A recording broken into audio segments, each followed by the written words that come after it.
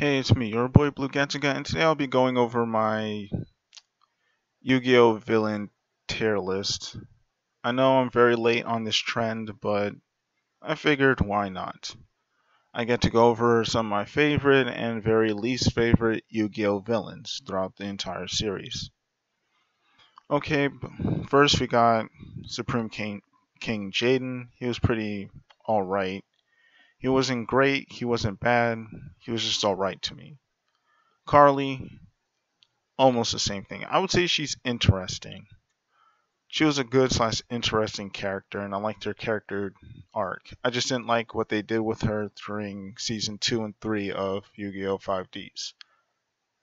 Those seasons sucked, in my opinion. The best part about that season, or those seasons, were the filler episodes, and that's a bad thing. This guy, uninteresting.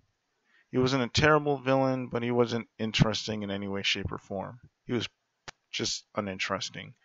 I, he was a meh villain. He didn't do much, and his motivation didn't make much sense to me. It really didn't.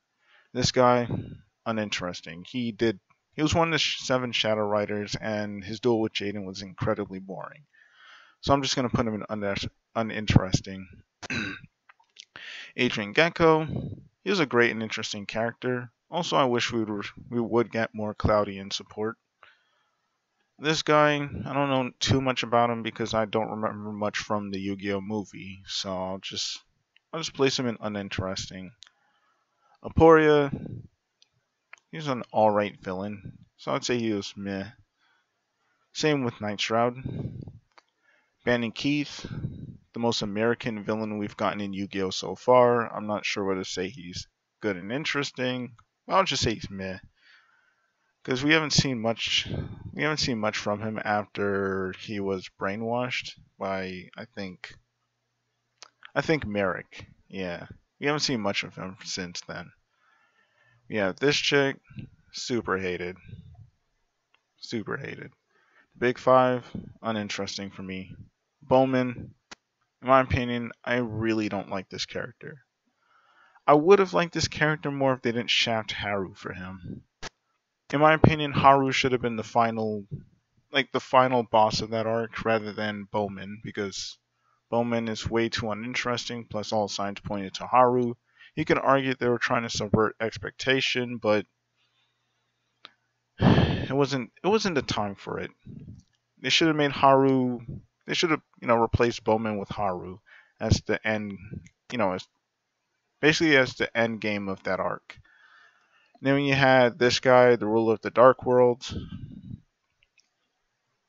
he was all right, but also uninteresting.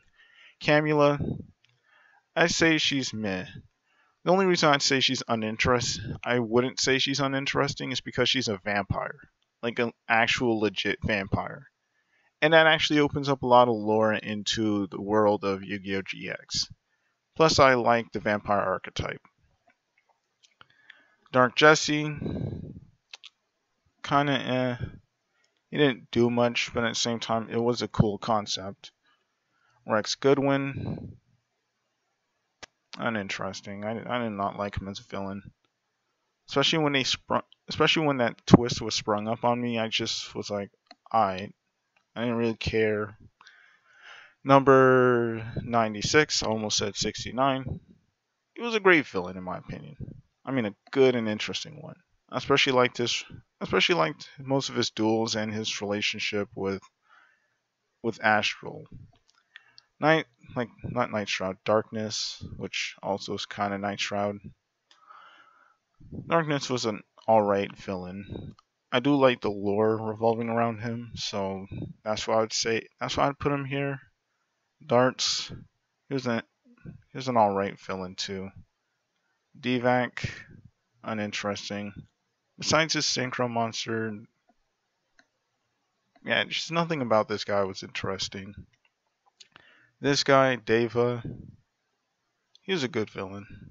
Dr. Faker, I do not like him. His motivation makes no sense and he's just a very boring character in my opinion. Don Zaloog, I liked his I liked his duel with Chaz. Unfortunately, we don't get to see the Dark Scorpions do anything else in GX. I would have loved to see Chaz use the Dark Scorpion in later duels, but he doesn't. This guy, yeah, he's just boring. Alito, I like his personality. I like characters like him, and I also like how, yeah, I also like how he was very honorable in the anime, and I also like battling boxers. And fire is one of my favorite attributes in Yu-Gi-Oh! Leo Akaba, he's just very stupid. Incredibly stupid.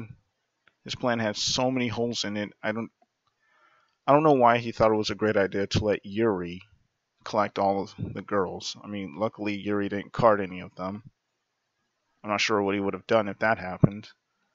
Lot Lawton, same. I would put him in uninteresting or alright, but yeah, actually no, because there's two different. Basically, his story arc is kind of like a Telltale game. In the dubbed, he just quit. Like he just quits the duel and decides to run away. Because in the sub, there was, you know, the rest of the duel was too edgy for four kids.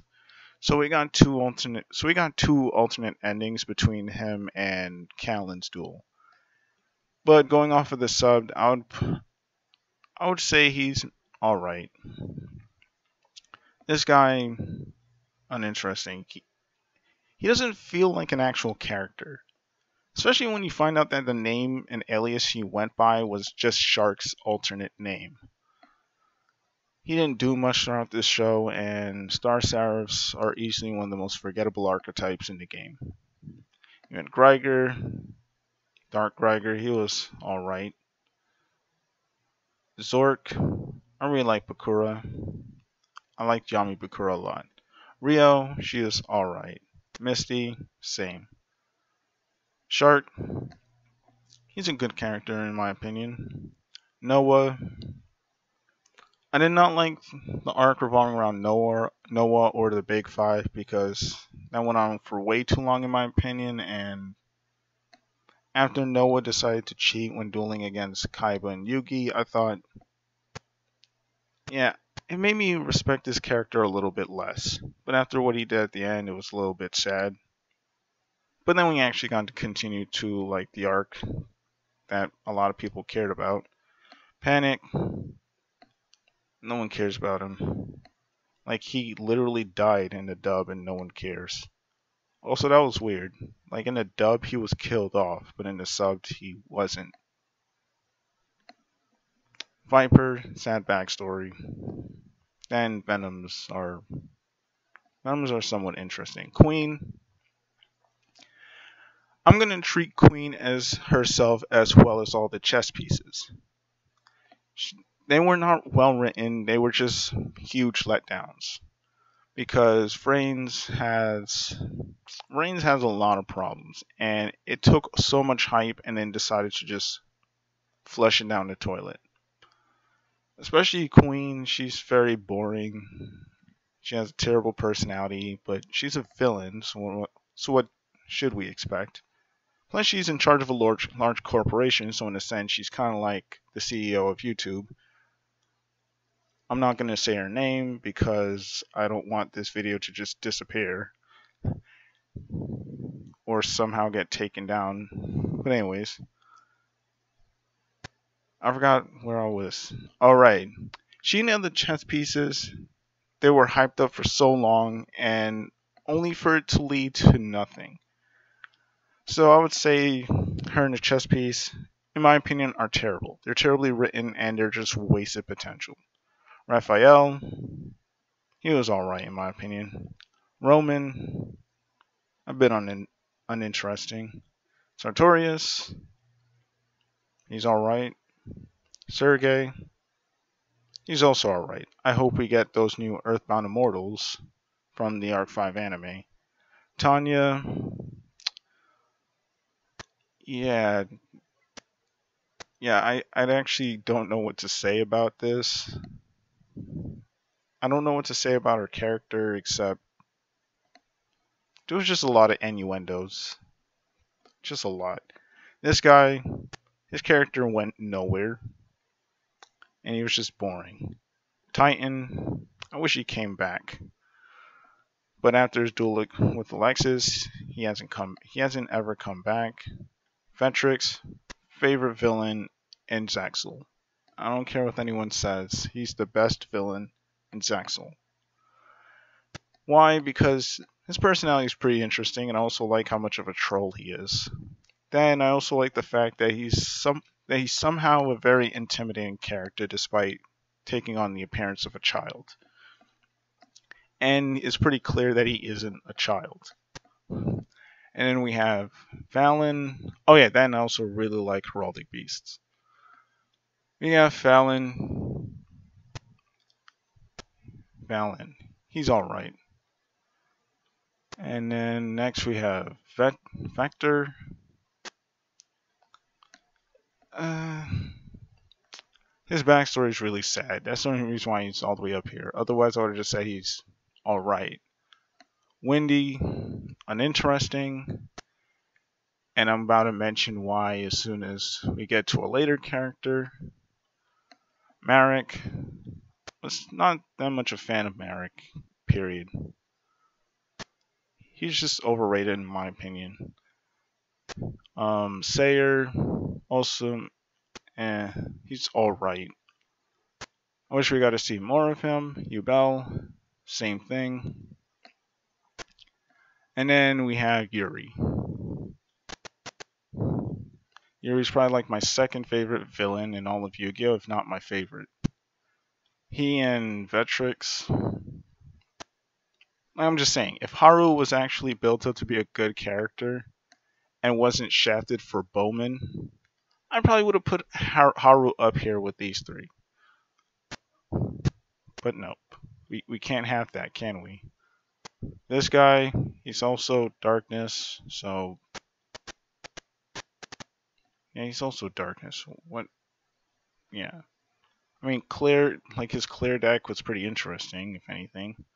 Poria, not Poria, Zone, uninteresting villain. Not to mention, it was such a letdown to find out that he wasn't really Yusei, but just some random guy from the future. My Daily Aster plotline is just terrible. Zark, he's alright. He wasn't fleshed out, but understandably so. Kalin, alright. Don Thousand, Oh yeah, Don Thousand's on this list twice, I think.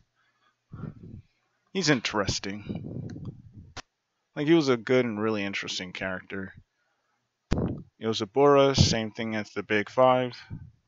Quattro. I really like his character progression, plus... Yeah, I really like his character, and he's ironically the most interesting out of all of his siblings. Next we have Roger, horribly written. Pegasus, he's alright. Siegfried, I guess he's alright too. Yami Bakura, yeah, I really like Yami Bakura. Um, Girag, he's alright. Same with Mizar, Mizar, Mizail. I don't know how to pronounce his name. And lightning. And here's what I was talking about. Lightning and Windy are practically the same character because Lightning literally programmed Windy to be exactly like him. I'll put him up here because he's arguably one of my most detestable characters on this list. Because I hate this character so much. His, he's literally the embodiment of a Karen in the world of Vrains. Like, he snitches really hard. He's constantly just mocking Ai for no reason. And he commenced his entire plan to eradicate humans based off of his based off of his inferiority complex.